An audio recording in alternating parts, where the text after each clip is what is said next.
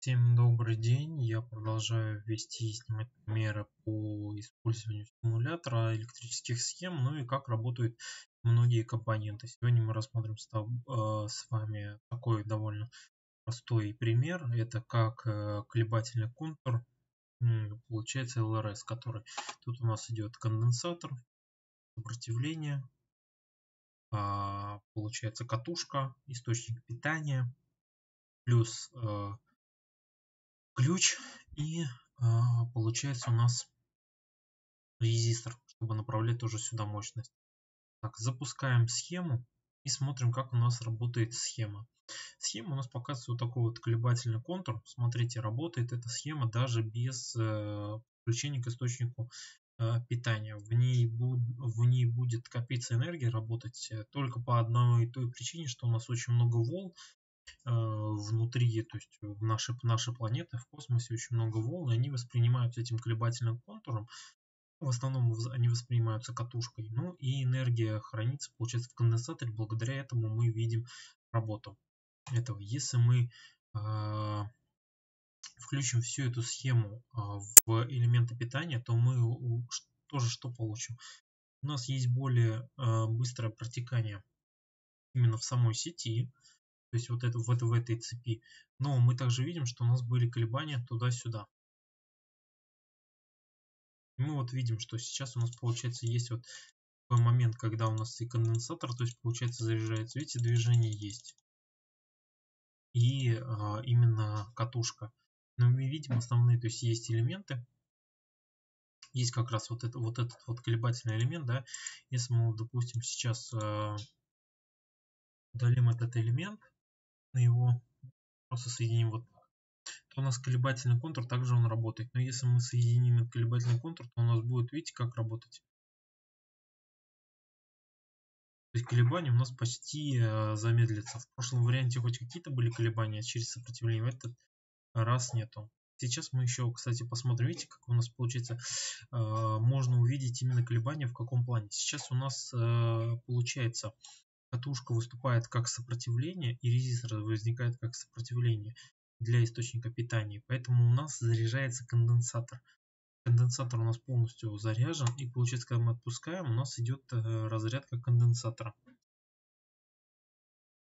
И идет постоянно разрядка, зарядка, разрядка, зарядка конденсатора. И поэтому у нас есть колебания.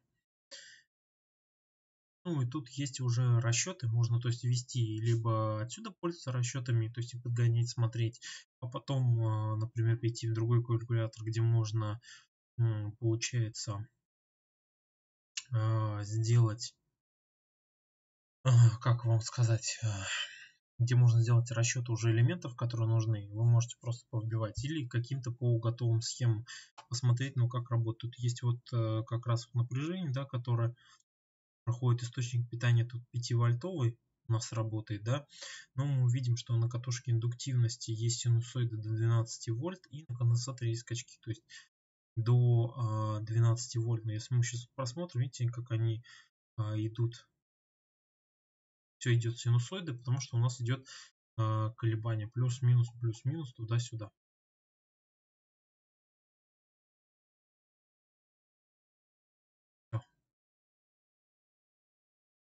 Вот так вот интересный у нас работает именно колебательный контур.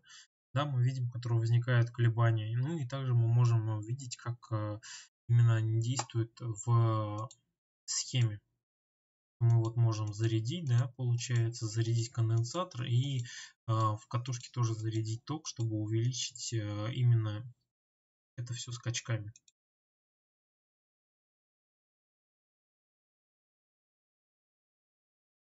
Я еще немного вот так вот сделаю, да? Добавлю вот так вот. Вот, да?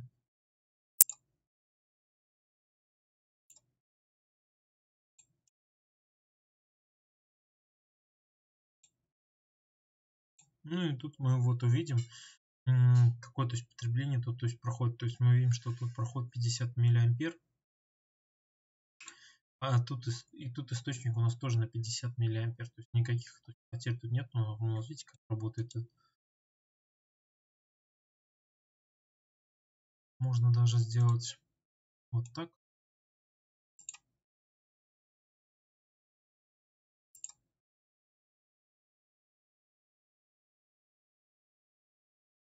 И мы видим а, изменения. Давайте еще раз так сделаю. Уберу напряжение. Но сейчас не столь интересно, да? И мы видим, как у нас колеблется. То есть у нас тут э, полноценно нету 10 миллиампер, то есть как было до этого, у нас есть вот колебательный контур, куда туда-сюда гуляет у нас, пока у нас э, не разрядится, получается, конденсатор полностью вместе с катушкой разряжаются, они не мгновенно, то есть это идет колебательное движение. Мы замыкаем. Мы видим рост до цепи до